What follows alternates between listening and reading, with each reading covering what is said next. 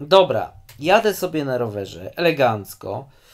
Kamera jest na kasku. Ściągam kask. No nie, co to jest? Jakaś plama na ekranie. Po, pod szybką. Jakby parą zaszło. Nie trzyma szczelności. Zobacz, to się zmniejsza. Powoli zaczęło się zmniejszać. No wyłączmy może ekran całkowicie. Będzie to lepiej widać. O proszę, no strasznie to wygląda. I teraz już całkowicie znikło. No tak, jakby jakaś para. No czy co? Nieszczelne? Dobrze, zróbmy test. Ekran jest czyściutki, w pełnej okazałości. Kamera jest zimna. Mam tutaj wodę, krople Beskidu, zwykła woda.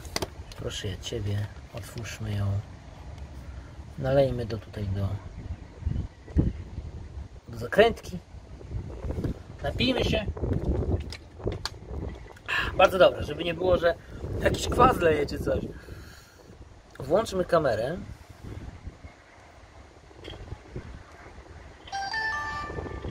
W 4K w 60 klatek na sekundę. Tylko zostaną tylko 10% baterii, trudno.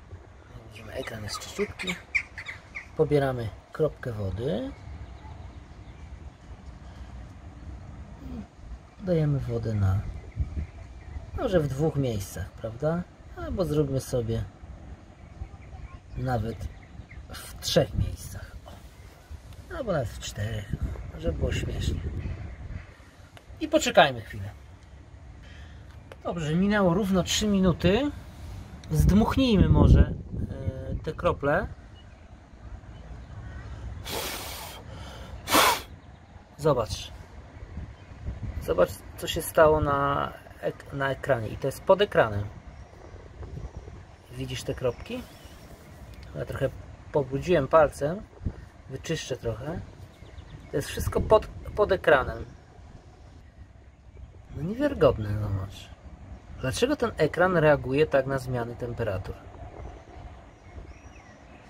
To jest coś yy, nieprawdopodobnego. Wyobraź sobie, że ja teraz z tym nurkuję. I, cały ekran mam biały i na nim nie widzę nic. Zobacz, jedna z tych kropek już yy, znikła, prawie, gdyż temperatura się zmienia.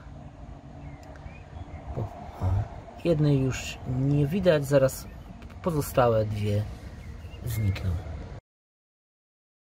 No i zniknęły. Kamera wygląda tak wyglądała, jak nowa. Nie wiem, czy jest to problem w mojej sztuce, czy wszystkie tak mają.